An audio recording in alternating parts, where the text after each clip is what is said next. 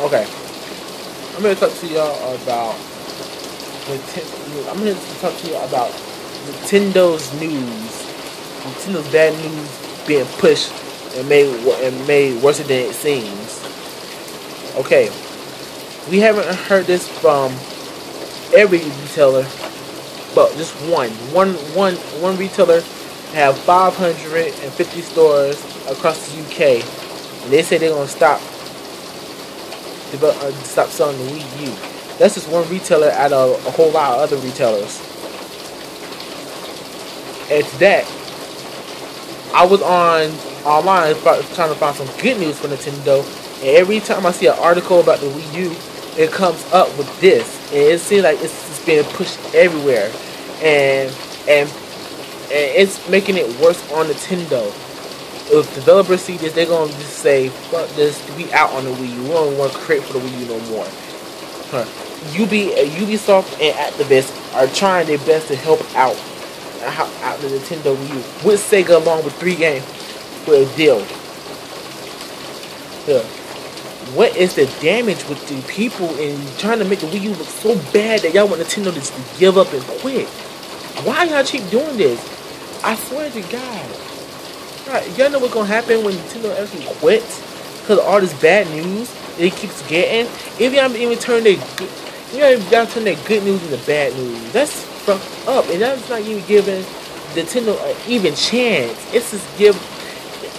It's it's just saying that Nintendo needs to go ahead and stop, stop. Even with good news come out from Nintendo, y'all make it look worse. And that's that's freaked up. Like when they're when like when they announced this, news on news on news articles flooded flooded up with this, and it will not stop. They everywhere you see Wii U, it's just canceled in one retailer out of so many others. They make it look like it's an awful bad thing. But it's only in one place, that's the UK. You don't see it and you don't hear it and there's more retailers in the UK, but you don't hear it in other places.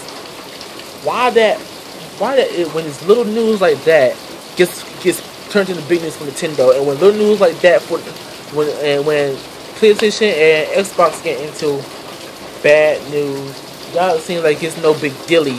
When it's new, when, when Nintendo does it, it's it grows and grows and grows. You know what is gonna do to the company? They're basically breaking down the company with that mess. That mess, like, like for really. And best, and I'm gonna be hinting this out.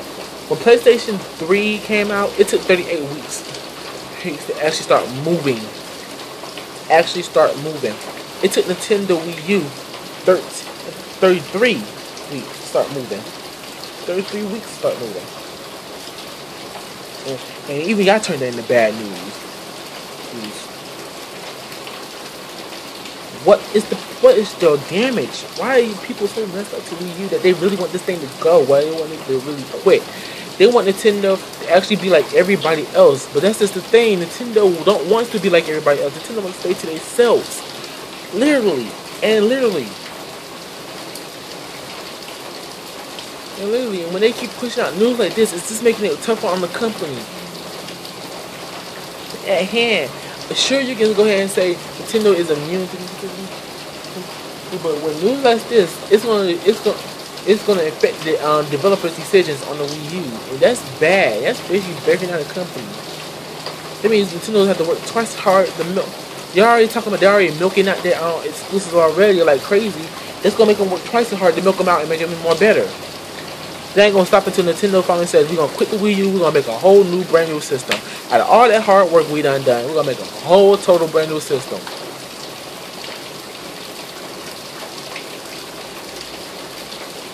Well,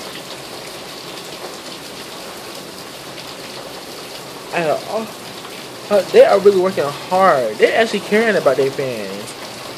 And sometimes they tend to have to go out the way what their fans say in order to produce something else, so it won't be repetitive. But people keep on making that as uh, making it bad as it seems.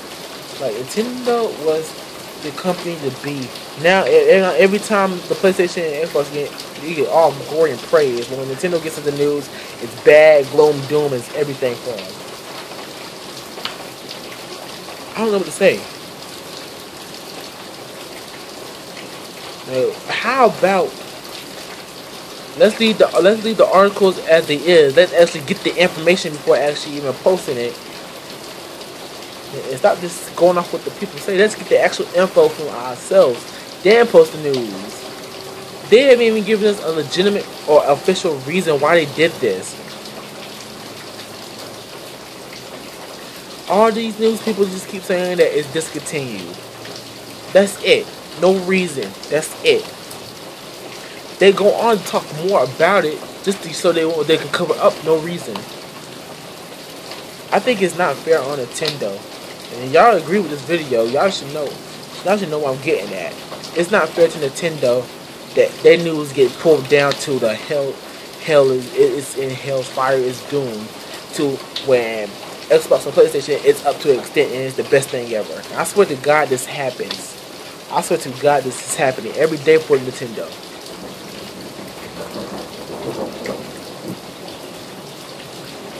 With that said, I'm out. Can't wait for this gaming. I can't wait for this gaming industry just to close down like it did, and Nintendo's not going to stay. I ain't gonna say nothing else.